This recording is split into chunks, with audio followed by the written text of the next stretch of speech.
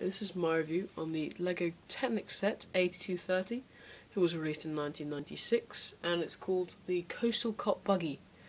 Uh, it retailed for 22 US dollars and came with 175 pieces, including a Technic man who's just a policeman, uh, just a classic Technic man really. He's got shades, so detailed face, um, and he sits in his little coastal cop buggy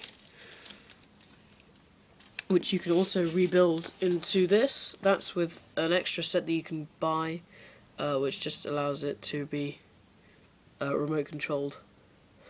Um, so if you have that set, you can wire it up. Instructions, mm, not too much. It's not actually a particularly big set considering how expensive it was. Um, and in the ways of sort of mechanisms, it's not particularly complicated.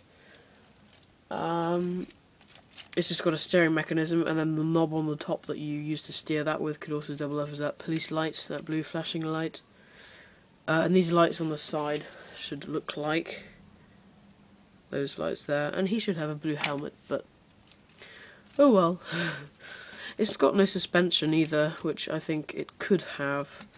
Uh, but it has got brake lights, which I quite like. Uh, they're just stickers. Um, the steering wheel is just, it doesn't steer the mechanism, it's just on its own there. And then you get a cool, ooh, you get a cool red seat in there.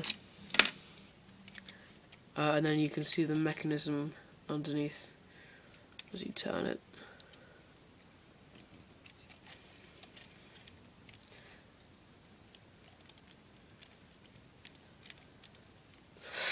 But that's the uh, 8230 LEGO Technic set, released in 1996.